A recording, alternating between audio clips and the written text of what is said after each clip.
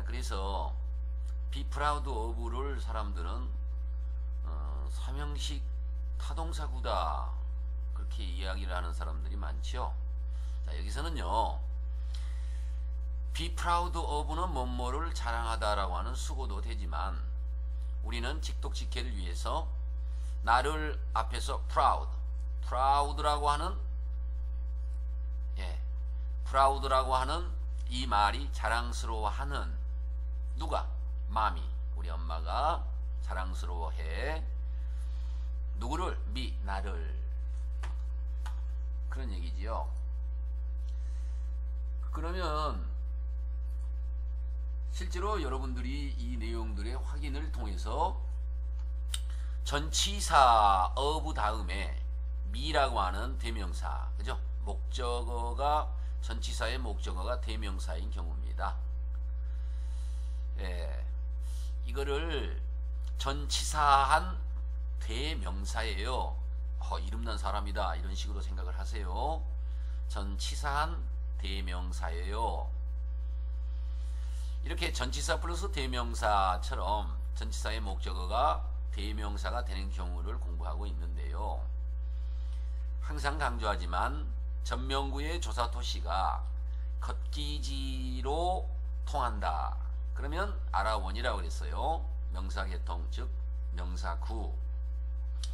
전명구의 조사토시가 의하는 할턴 대여진으로 통하면 아라투 즉 형용사 구다 그랬죠.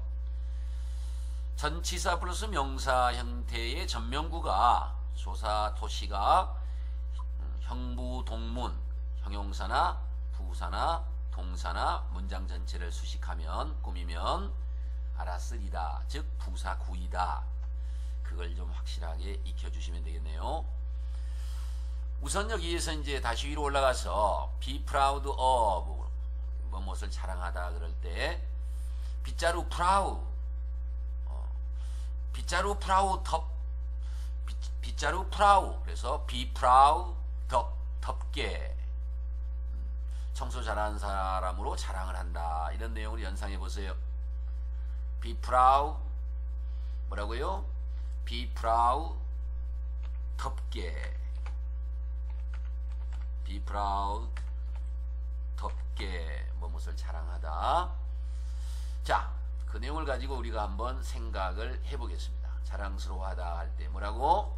Be proud of. be proud 덮게 청소 잘하는 사람으로 자랑한다. Be proud of. 아, be proud 덮게 빗자루를 잘 풀아우 저쪽을 잘 덮, 덮을 수 있도록 자랑한다. 그 장면 연상하십시오. 그냥 be proud of는 뭐뭇을 자랑스러워하다 이렇게만 하려 하지 마시고 Be proud of. 어, be proud 덮게 be proud of는 뭐뭇을 자랑하다 그런 얘기입니다. 여기서 이제 중요한 것은 아까 말했지만 이 전치사 플러스 대명사 형태로 이때 미가 온 것은 뭐죠? 어, 대명사일 경우에는 또 어, 모든 명사일 경우에는 목적격이 전치사의 목적격이 된다. 그래서 미가 온 거죠.